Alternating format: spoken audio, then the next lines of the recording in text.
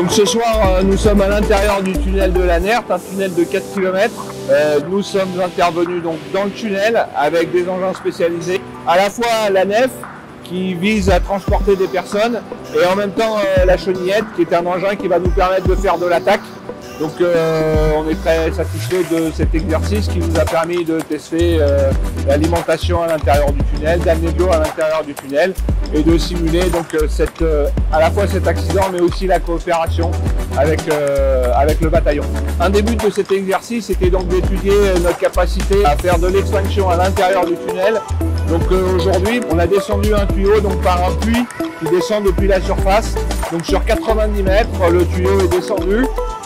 et ensuite, on est venu se raccorder et y brancher un canon automatique oscillant qui nous permettra en cas d'incendie réel, effectivement, d'avoir une projection très importante d'eau sans engager euh, énormément de personnel.